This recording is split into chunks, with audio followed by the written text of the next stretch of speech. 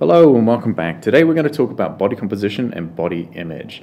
Um, we'd like to focus on performance, nutrition for performance, uh, and try to get away from ideas about body shape and body image. Um, these are traps uh, that you'll see a lot of people make in social media um, where people are focused on one particular body shape. Um, where indeed, in fact, uh, top athletes have a diverse uh, body shapes and body sizes, uh, and, and you should uh, be worried more about um, uh, performance than, uh, than anything else. So, first of all, let's dispel some common myths. Um, the, the, first myth is this. Um, many people believe that lighter is faster and lighter is better. And this simply is not true. Uh, in fact, your body will naturally find its best functional weight as long as you provide it with the fuels that it needs, the nutrition that it needs. Now, as long as you're fueling correctly, uh, your body will naturally fall into its best possible shape. Uh, I'd like to point out this uh, athlete here, Kristian Blummenfelt. He is the world's best triathlete, um, frankly. Uh, he won the Olympic Games. Uh, he's won uh, 70.3 Ironman World Championships. Uh, and he placed uh, third at the Ironman World Championships uh, last year.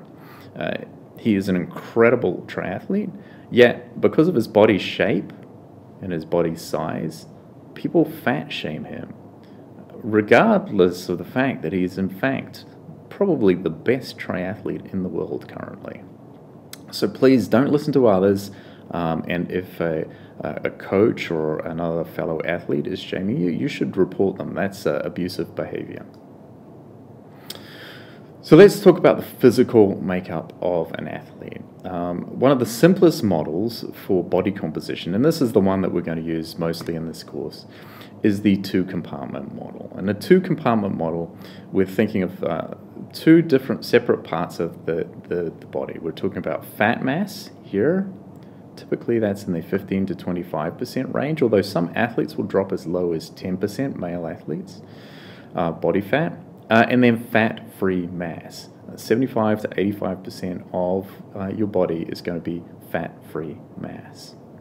Okay. Fat free mass includes the internal organs, it includes all the skeletal muscle, bone, and also, of course, all of your body, well, most of your body water. So, most of the, many uh, nutrition courses will talk about something called body mass index. And body mass index is used as an indicator of disease um, sometimes uh, particularly obesity.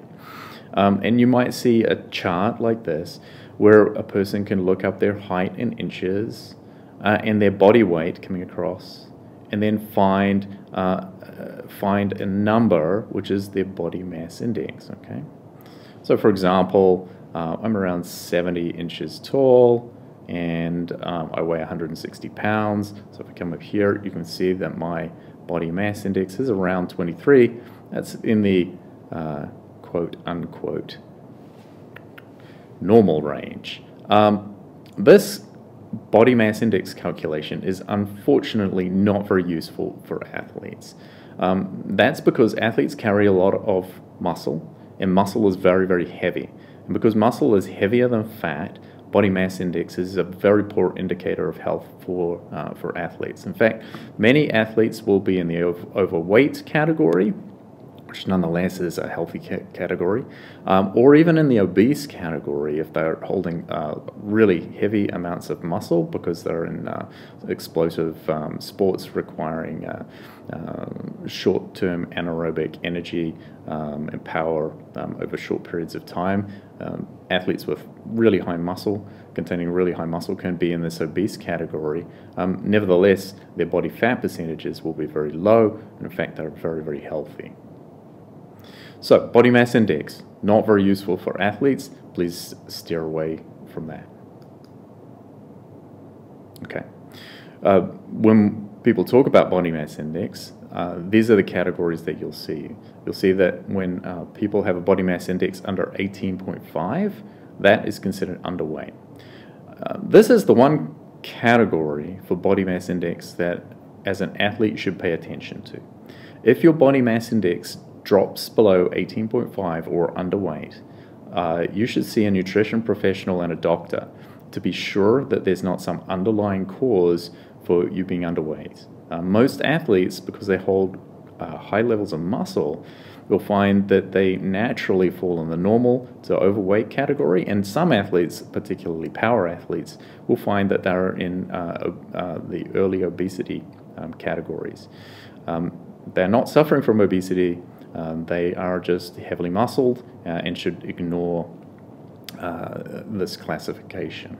Um, so, athletes should be in the normal to overweight category. If you're in the underweight category, seek help.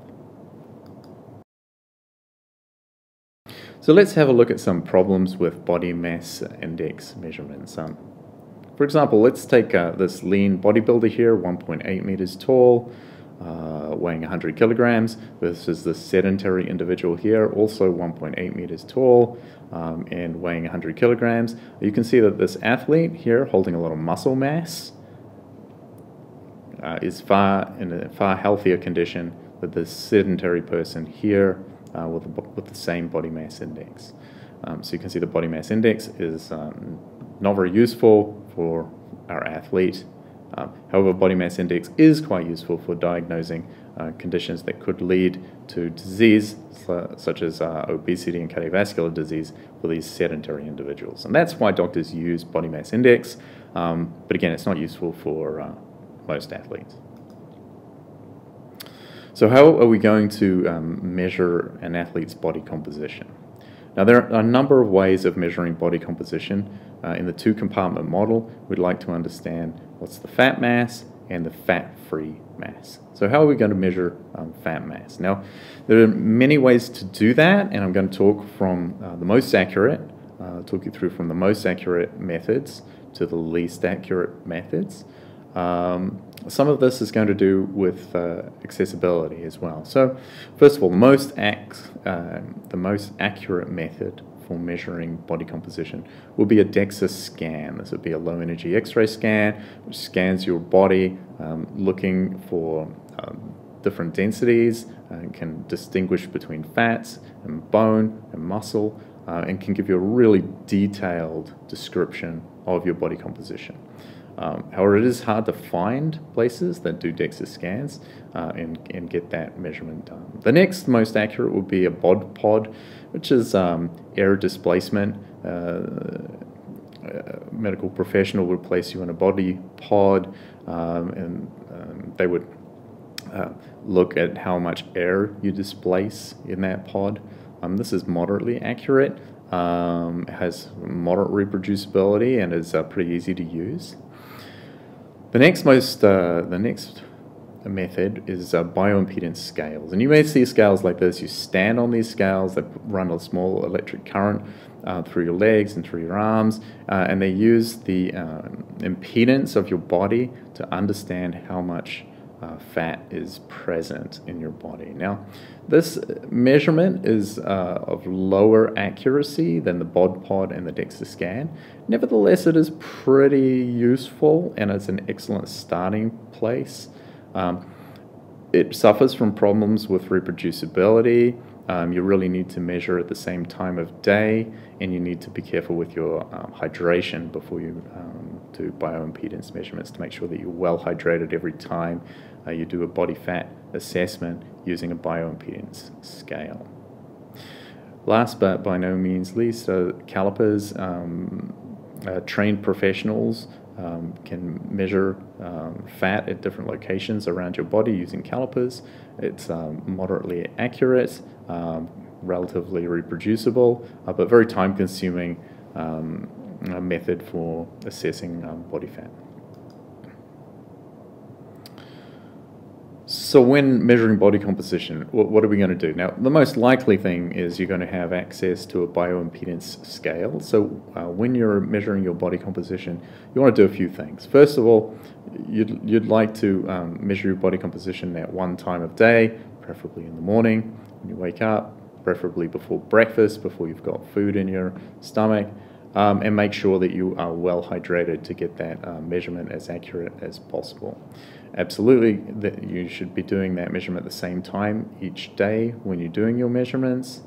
Um, if the uh, if there is a technician who is doing either the DEXA scan or the, or the work with the calipers, you should um, make sure that it's the same person every day, um, or you should use the same equipment. So if you're measuring using bioimpedance, you should always use the same bioimpedance scale and not change from one scale to the other because there's small differences between the calibration states of each piece of equipment. Now when you do all of these things, you'll get a number that may not be um, an accurate number, but it is a number that you can look at to follow the trends um, over months. And my suggestion would be that you measure body composition no more than once a month, and frankly, uh, once or twice a year would be more than enough for most athletes to measure body composition.